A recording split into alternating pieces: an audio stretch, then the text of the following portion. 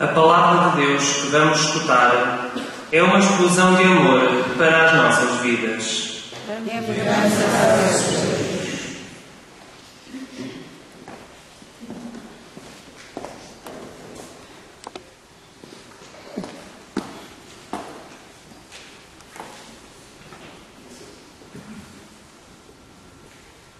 Ó vós todos os que tendes sede, vinde às águas, e vós que não tendes dinheiro, vinde, comprai e comei. Sim, vinde e comprai sem dinheiro e sem preço vinho e leite. Porque gastais o dinheiro naquilo que não é pão, e o produto do vosso trabalho naquilo que não pode satisfazer Ouvi-me atentamente e comei o que é bom, e a vossa alma se deleite com a gordura. Os olhos de todos esperam em ti, e tu lhes dás o seu mantimento, o seu tempo. Abres a mão e satisfazes os desejos de todos os viventes. Justo é o Senhor em todos os seus caminhos, e santo em todas as suas obras. Perto está o Senhor de todos os que o invocam, de todos os que invocam, o invocam em verdade. Amém. Amém.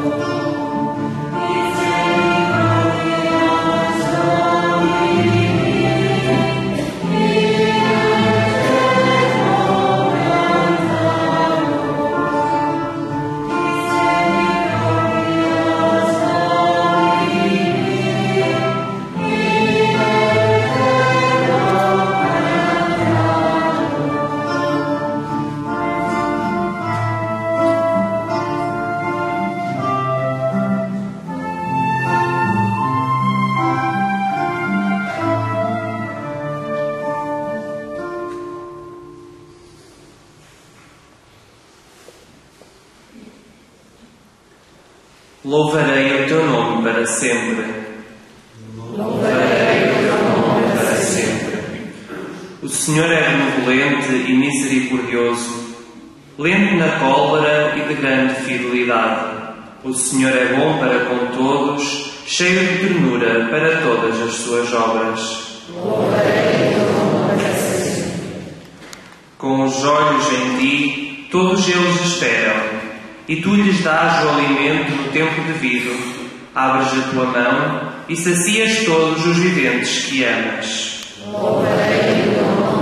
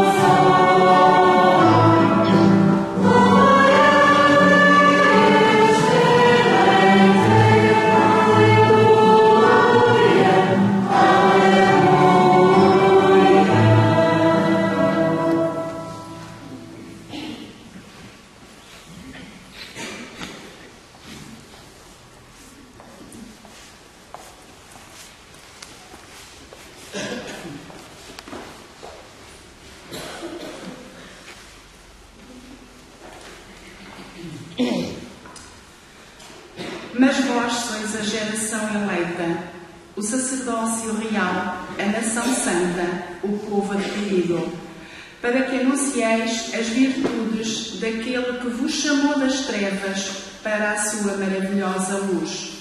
Subiu ao monte e assentando-se aproximaram-se dele os seus discípulos e, abrindo a boca, os ensinava, dizendo: Bem-aventurados os pobres de espírito, porque deles é o reino dos céus.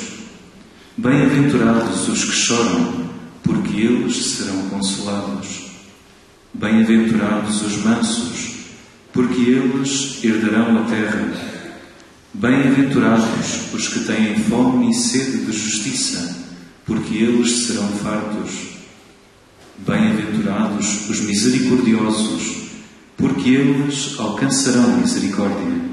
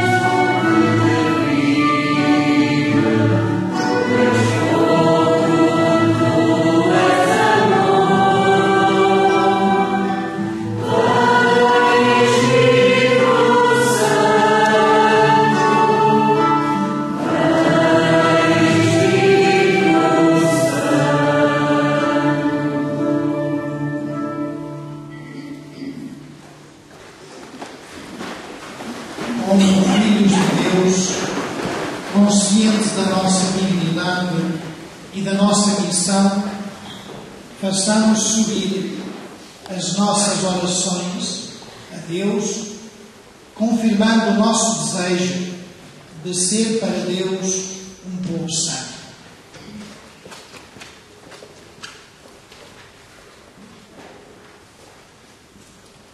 Pai, amadíssimo, transformai os nossos corações, as nossas famílias, as nossas comunidades e a nossa sociedade.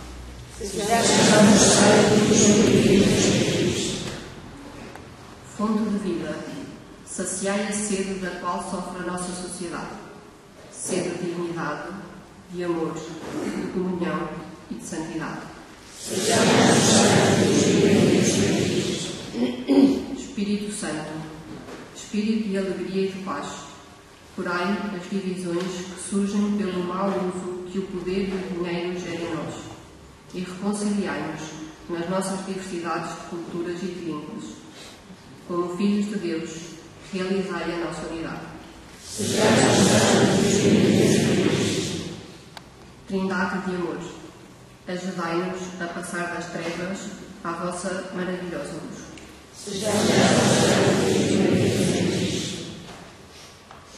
Senhor Jesus Cristo, pelo batismo nos tornamos um contigo. Por isso, unidos a nossa, unimos a nossa oração à tua, retomando as palavras que tu mesmo nos ensinaste. Pai nosso, que estás nos céus, santificado seja o vosso nome. Venha a nós o vosso reino. Seja feita a vossa vontade, assim na terra como no céu. O pão nosso de cada dia nos dai hoje. Perdoai-nos as nossas ofensas, assim como nós perdoamos a quem nos tem ofendido. E não nos deixeis cair em tentação, mas livrai-nos do mal.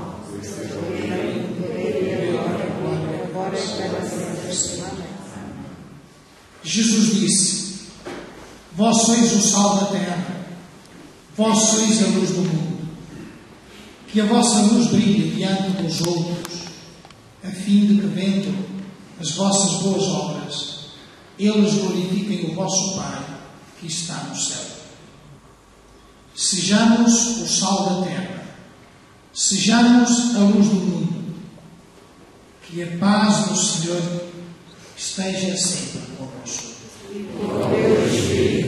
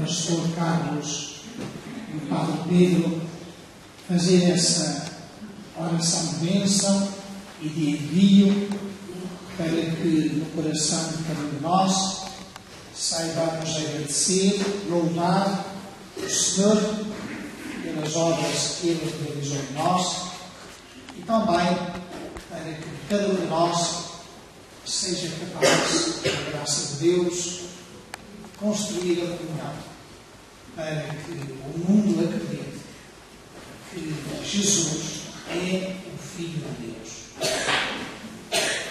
Benditos sejam os pobres da coração, benditos sejam aqueles que choram, benditos sejam os mansos, benditos sejam os misericordiosos, benditos sejam os de coração benditos sejam aqueles que fazem obras da paz, benditos sejam os suicidas, benditos sejais vós, por Deus Pai, Filho e Espírito Santo. Amém. E em paz.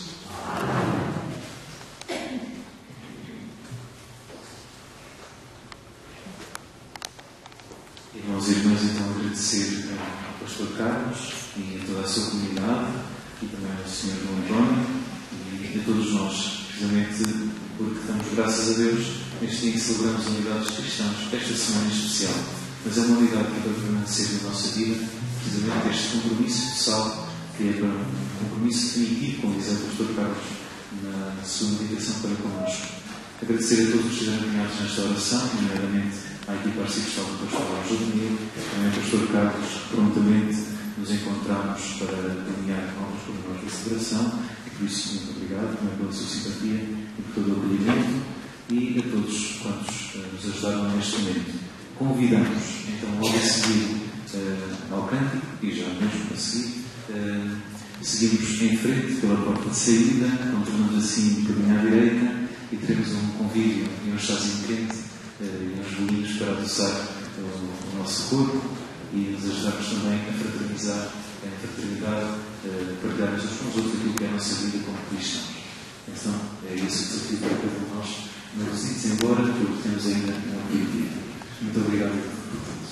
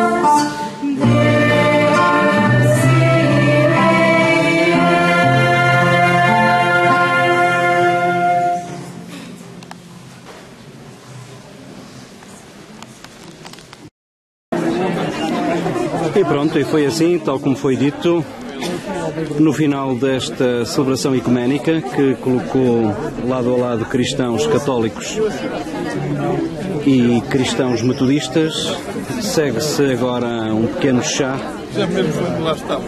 e bolos eh, para aconchegar o estômago.